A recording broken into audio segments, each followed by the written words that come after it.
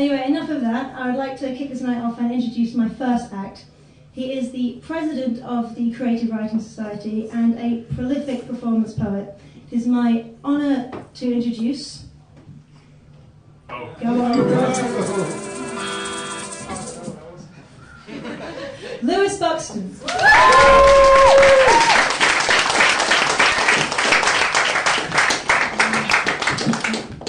Let's think hit the road, Jack, but slow. So we want a kind of like dum dum da dum dum da dum da dum.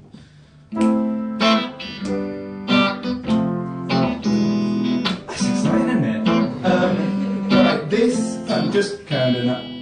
That's great, yeah. Uh, this poem is going to be about. I had to get permission to do this poem. Um, because uh, for various legal reasons, um, and it's called a deviant. He's a deviant by his name and by his nature, debauched and drugged up. He's a stone-heavy drinker. He slips into a slumber, iso- isolated, sober. I can't break his self-made coma. I've just got to pray it will soon be over. He's a deviant sits astride Dionysus. By dint of drugs he's made to divine, but debts are doubled by their prices.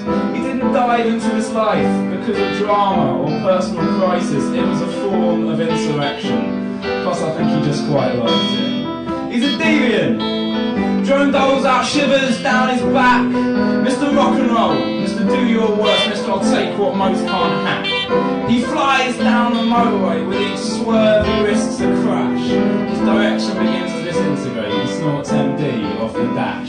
He's a deviant. Rugged round, dilated iris. I saw through his dogged eyes since he indulged enough for both of us. I sat still beside him, living the life vicarious. Doused his dark throat in vineyards, I got narcotics, vile and various. He's a deviant.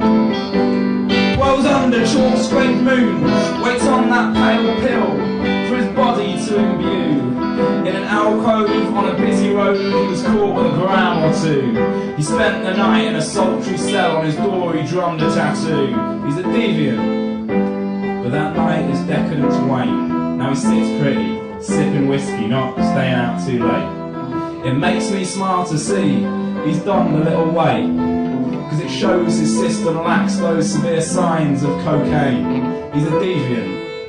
He's a dickhead I'll defend, I'll direct critics to his achievements, all he broke then helped mend. I don't know if he's done with this delinquent indie trend, but with this last rhyming couplet I raise a glass to my best friend. Thank you.